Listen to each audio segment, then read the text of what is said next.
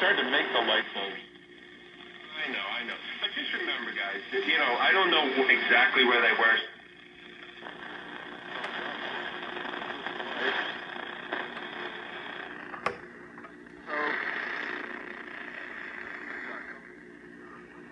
You know, I, I know it sounds like consolation. And,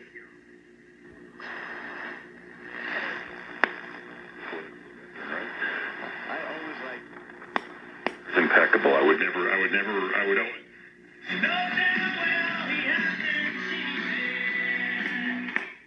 10 minutes away and WCBS. And now let's check the weather.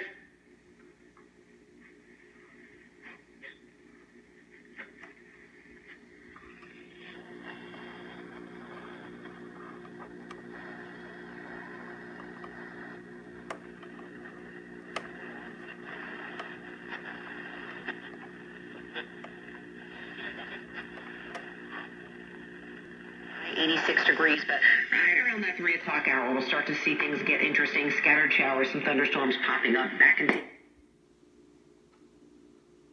behind that cold front. So mostly sunny to partly cloudy skies.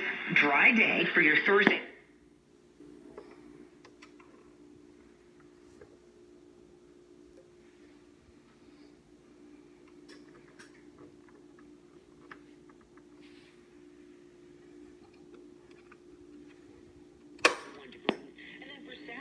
And Sunday, we're mostly sunny with highs right around 75. So we're heading for a nice weekend. Right now it's 77 degrees in Midtown. From CBS 2 News, I'm Elise Finch. Well, thanks, Elise. At 11:20, RBG credits her work for getting her through her recent health scares.